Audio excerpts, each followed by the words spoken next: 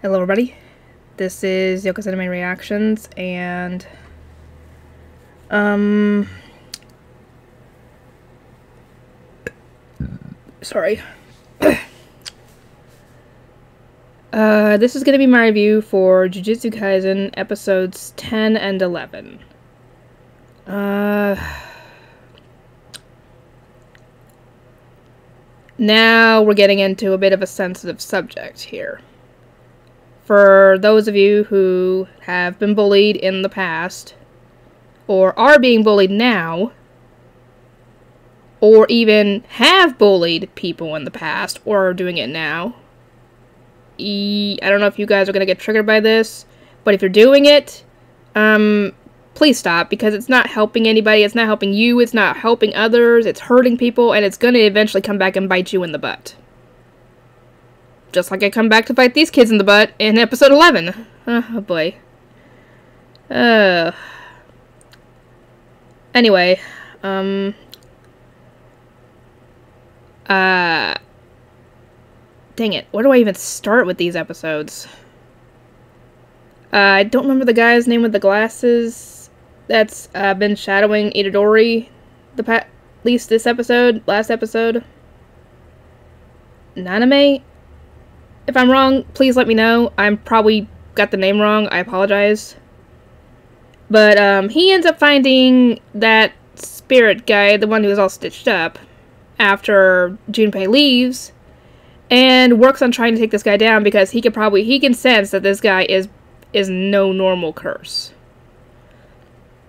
I'm willing to bet that he's kind of like the volcano guy, like he's an ancient curse or like a curse uh, I don't know, to be honest. I don't remember what this guy is supposed to be.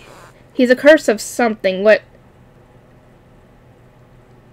A curse involving humans, I guess? Human emotions? I don't I don't remember what it was. But anyway, he tries to fight this guy and is having a rough time of it because this guy could just stitch himself back together. And while this is going on, Itadori and the other guy are trying to. They're telling Junpei because he was the one at the movie theater, and thus they have to find out if this guy is actually connected to. Uh. What happened? And. Dang it. I don't remember what happened, but Itadori ended up blowing his cover and revealing himself and the dang spirit he had in the cage to Junpei and Junpei saw it. So that means he can see this stuff, which means he's got at least some kind of awareness. Because normal people don't. Just like in uh, Blue Exorcist, where normal people can't see, uh, can't see demons. Anyway, um, he ends up meeting up with Junpei later, and talking with him and just getting to know the guy. And he actually ends up joining him and his mother at their place for dinner because his mother insisted on it because she thought that he was he was thought she thought that he was Junpei's friend. And they end up bonding over a couple of things which makes next episode harder. Anyway,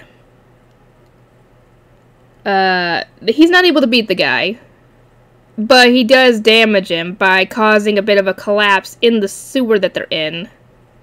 He does get injured though in the process. Though it's not a it's not a life threatening one. It's just like like he got grazed on the side essentially or something. So um while this is going on uh the curse guy shows up at Junpei's house and uses that same technique that he used on those bullies in the in the theater on the poor guy's mother. And this broke him. This broke Junpei. Badly. Because his mother was his only support at this point. The only person he actually cared about besides himself. If he even cared about himself at this point.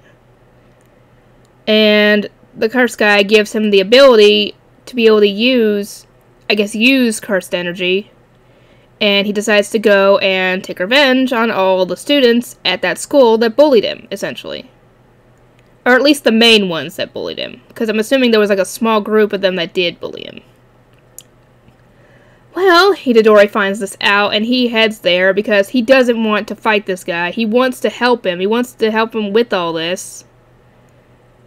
And uh, that's actually how the episode ends, is him busting in, thankfully, before Junpei can kill the guy. Or who knows what do to him. Who knows what he do to him. And, uh, yeah, if you guys have any comments on these two episodes, feel free to leave them. If there was anything that I missed while I was watching the episodes, feel free to let me know because, you know, I always like hearing from you guys on that because you guys spot things that I probably don't. Or you guys understand things that I probably don't and you can explain them to me. Anyway, I will see you guys next time.